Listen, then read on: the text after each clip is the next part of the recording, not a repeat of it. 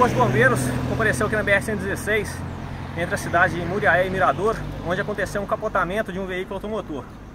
Constatamos tratar aqui de um capotamento de um veículo que seguia no sentido Muriaé, Bahia, vindo aí ocasionar duas vítimas no local. É, antes do capotamento final, o veículo ainda se chocou contra uma árvore, trazendo bastante prejuízo aí e danos ao veículo.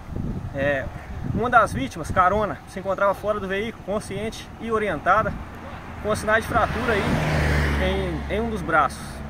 Foi imobilizada e segue aí conduzida para o Hospital São Paulo pela unidade de resgate do Corpo de Bombeiros.